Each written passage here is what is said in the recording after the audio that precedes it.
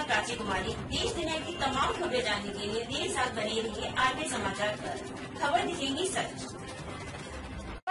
आप देख रहे हैं आरपीएस समाचार। मैं हूँ आपके साथ साधना शर्मा। देश दुनिया की तमाम खबरें जानने से पहले आइए जानते हैं आज की ताजी और खास खबर। पुलिस मुठभेड़ में दो बदमाश गिरफ़्तार। एक फरार। देवरिया का इनामी पुलिस गिरफ्त में चालीस हज़ार के नकली नोट बरामद। पकड़ा गया बदमाश मंगेश उर्फ़ मंगेश्वर गिरी पच्चीस हज़ार का इनामी बदमाश है। वहीं उसके साथ विशाल यादव को दबोचा गया है। दोनों के पास से पुलिस ने चालीस हज़ार रूपए के नकली नोट तमंचा व बाइक बरामद किया है। खबर विस्तार से। राजधानी लखनऊ के गुडम्बा क्षेत्र के नवापुर गाँव के पास सोमवार देर रात को पुलिस व बदमाशों के बीच मुठभेड़ हो गई। बदमाशों ने की पुलिस पर फायरिंग, वहीं जवाबी फायरिंग भी हुई।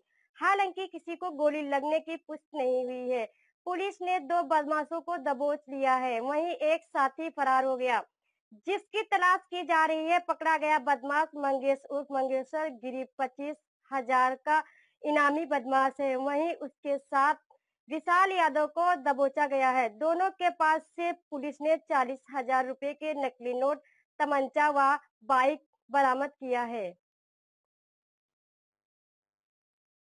एडीसीपी उत्तरी प्राची सिंह के मुताबिक सोमवार देर रात करीब नौ बजकर दस पर सूचना मिली। कि नवाबपुर गाँव के पास तीन संदिग्ध लोग खड़े हैं।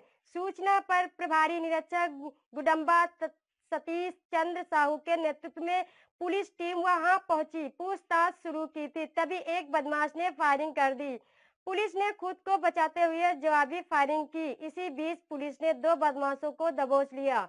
वहीं एक बदमाश मौके से फरार हो गया। एडीसीपी उत्तरी प्राची सिंह के मुताबिक पकड़े गए बदमाशों में साथी लुटेरा व रंगदारी मांगने वाला देवरिया के जौली बुद्ध बिहार निवासी पच्चीस हज़ार का इनामी मंगेश, उर्फ़ मंगेश्वर गिरी व सकरा पार देवरिया का विशाल यादव शामिल है। मंगेश मूल रूप से देवरिया के रुद्रपुर स्थित मरकड़ी का रहने वाला है। वहीं दोनों का फरार साथी देवरिया का रोहित यादव है। पुलिस टीम उसकी तलाश में कुकरेल इलाके में काबिंग कर रही है। चालीस हज़ार नकली नोट बरामद। एडीसीपी प्राची सिंह के मुताबिक पुलिस मुठभेड़ में दबोचे गए बदमाशों के पास से बाइक, तमंचा और नकदी बरामद हुए हैं। बरामद नकदी शुरुआती पड़ताल में नकली दिख रही है। बदमाशों के पास से सौ सौ रुपए के चालीस हज़ार रूपए बरामद हुए हैं। इनकी जाँच के लिए बैंक से संपर्क किया गया है। एडीसीपी के मुताबिक पकड़े गए बदमाश देवरिया में मोबाइल चेन स्नेचिंग की वारदात को अंजाम देते थे। पुलिस बदमाशों के आपराधिक इतिहास के बारे में जानकारी जुटा रही है।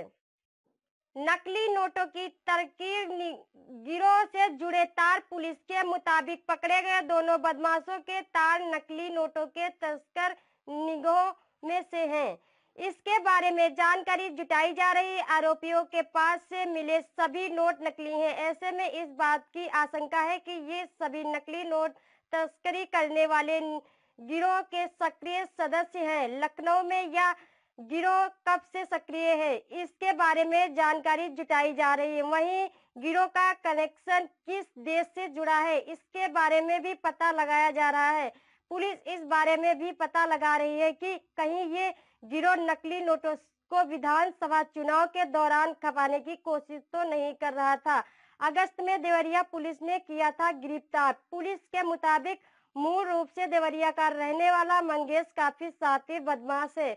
उस पर पिछले साल देवरिया पुलिस ने पंद्रह हज़ार रूपए का इनाम घोषित किया था। इनाम घोषित होने के बाद देवरिया कोतवाली की पुलिस ने 16 अगस्त को उसे सदर रेलवे स्टेशन के माल गोदाम रोड से कोतवाल विपिन मालिक ने गिरफ़्तार किया था। उस पर देवरिया में लूट रंगदारी सहित कई आपराधिक मामले दर्ज हैं। Bureau report, Lucknow.